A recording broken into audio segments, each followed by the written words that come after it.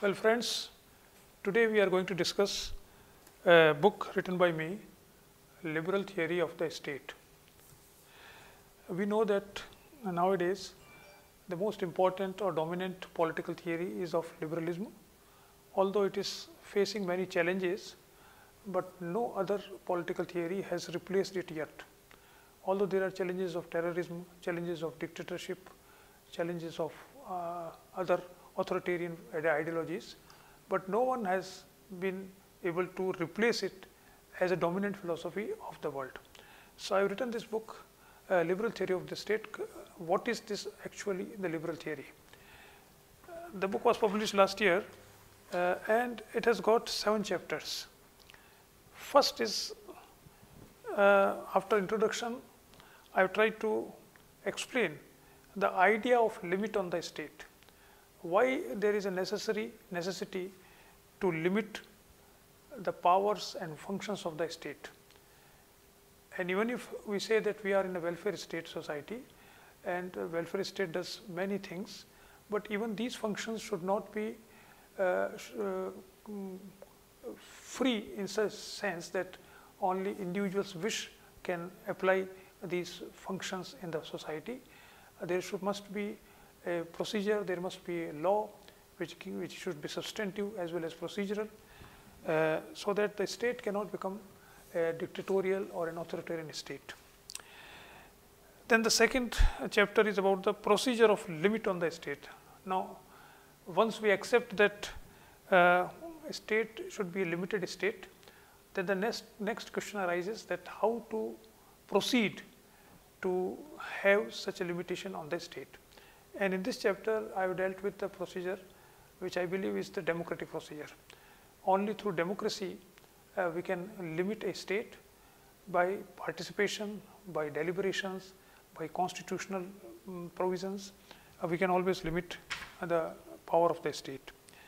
Then comes the third chapter, which is important, that is the challenges to the state, because there are many challenges which are coming up uh, in contemporary times and I have dealt with certain challenges.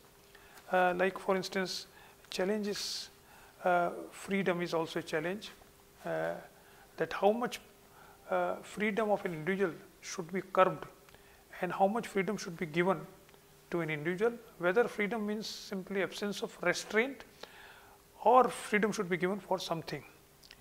How we uh, regulate freedom with equality and with the powers of the state and there is an interesting uh, assessment of Amartya Sen's concept of development as freedom, because he argued that uh, it is only through mm, development that we can express our freedom.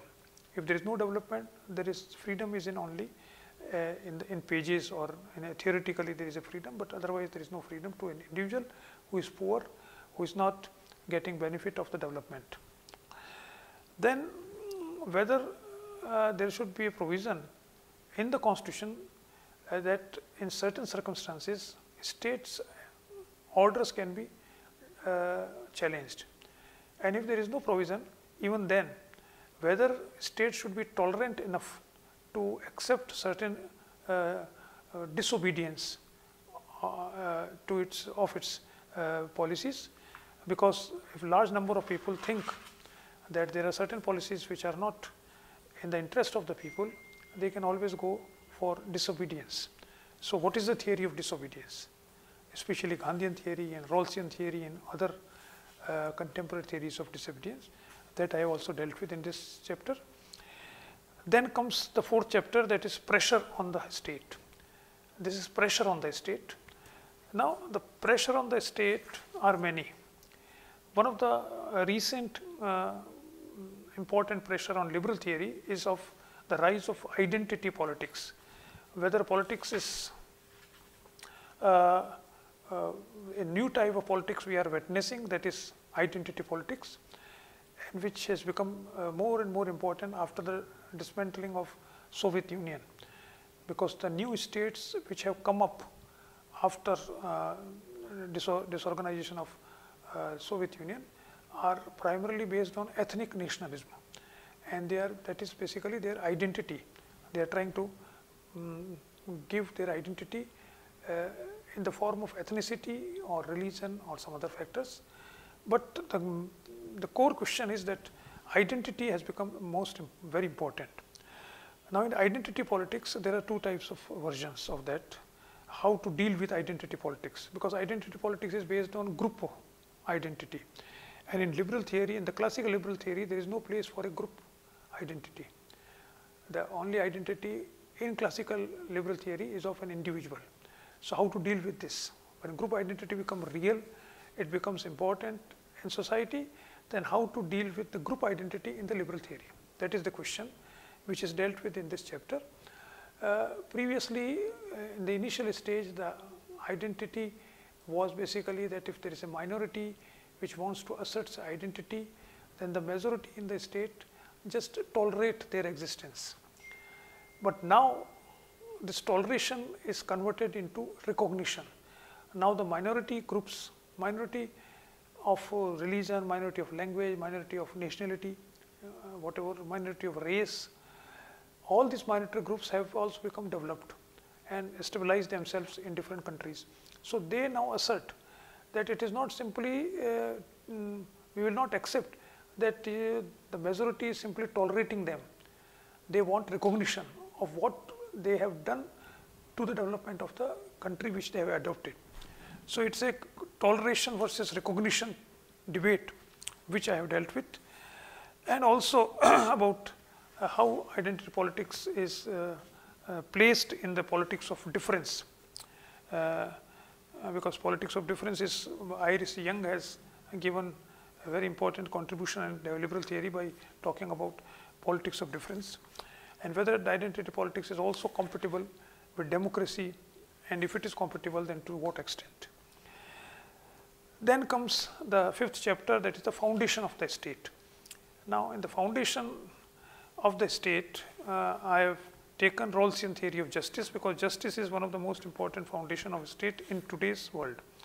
So I have dealt with concept of justice, Rawlsian theory, Nozick's entitlement theory, Michael Boylan's just theory, uh, Nancy Fraser's theory, and Will Kymlicka's group theory of justice. Then comes the sixth chapter, that is the crisis of the state. The state everywhere is facing a crisis. Now, what type of crisis we are facing? In that, I have just uh, pointed out certain um, important uh, issues which are coming up in contemporary political theory uh, which have bearing upon the concept of state. Uh, for instance, nationalism. Now, nationalism is dividing the world or not and the concept of sovereignty, whether a nation, nations are sovereign in their own or not. That is another important aspect. In a globalized world, whether the mm, mm, nationalism is, uh, is, is, a viable alternative, a viable existence or not. Then we have citizens. We are now talking of uh, when, the, the, when the question of sovereignty is, is, is, taken, then we also say that there are certain uh, options uh, where the citizens of a country they go and they, they, they argue out that they are not citizen of a particular country. They are basically cosmopolitan like uh, in, the Greek city-states, we know that uh, one of the philosophers just said that, uh, well, I am a cosmopolitan person, I am not confined to a Greek city-state. There is another important question which is coming up now, which modernity used to think that we have done away with the concept of religion and the role of religion, how religion, what role religion places in contemporary uh, political theory. Habermas and others argued that modernity will wipe out all the types of religions because religion is basically an irrational activity. But we witness in contemporary world that religion is coming back and religion is becoming more and more important in deciding the direction of politics of a particular country. So what is religion from the social scientist point of view? How religion is playing a role in the working of a state and whether it is advisable to use religion for the welfare of the society or not? That is the question which I have dealt with in, the, in this uh, paper. Then uh, the last question which is important is uh, which everybody talks uh, nowadays about is climate change. Whether climate change which is now becoming a reality uh, and which is now become dangerous, more and more dangerous, people are accepting the danger which is climate change is posing on them. Whether climate change is important in conceptualizing the theory of state or not, whether it has affected a theory of state or not. So, these are the six chapters which explained uh, different aspects of the liberal theory of the state. Now, the last chapter is then what is the theory of the state? Whether we can, because we have dealt with that there are so many problems which are coming up in liberal theory. liberal theory is in under pressure, liberal theory is facing some crisis. So, whether there is an alternative to liberal theory or what we can do to improve the, the decay, decaying condition of the of liberal theory. This is the question which I have dealt with in the last chapter that is a theory of the state. How can we make a theory of the state out of such situation? First is that we will have to concentrate on some questions which we have to answer whether these uh, whether the answers are uh, good enough to formulate a new political theory or not. The first is what type of human nature we perceive. Do we have a universal nature or we don't have a universal nature? And what is common to all human beings except one thing which is base, which is the basis of modernity that is rationality. Do we have anything common among all human beings? Do they respond in the same manner in all crisis situation or not? The second is the question of individual versus community. Whether individual identity is formed by its own or it is formed by the influences of a community in which it live, he lives. The third is how much should the state interfere in human affairs? Whether state should be value neutral, minimum or proactive.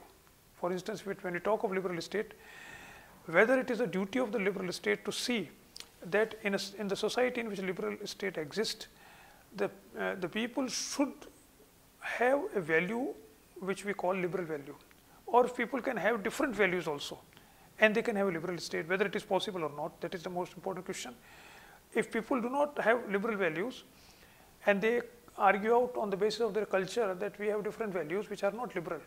For instance we know many in many cultures there are certain uh, conditions uh, for women especially uh, that uh, are not uh, in tune with the liberal value of man and woman relationship.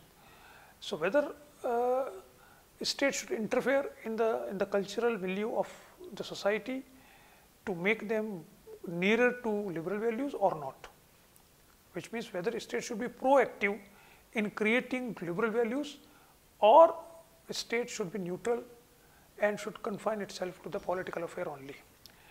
Then comes another question which is that how much control should be given to people over the state. In other words, to what extent democracy is workable. Uh, there are two uh, variant of this, uh, the answers which are given historically. One is that only elite can govern better and masses can only interfere, intervene only when there is a crisis. Otherwise, otherwise it is not possible.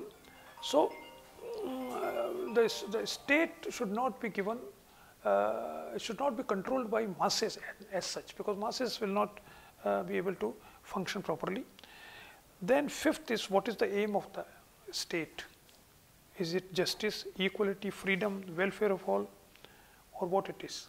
So, we should be very clear about it and how to define it. I think Rawlsian theory uh, uh, very beautifully has dealt with this question and I uh, extend, I, I accept his theory to a larger extent. Then the sixth is human beings are not motivated by reason alone. So, that we know that so it, political theory can be formed on non-rational elements of human beings or not. That is the important thing.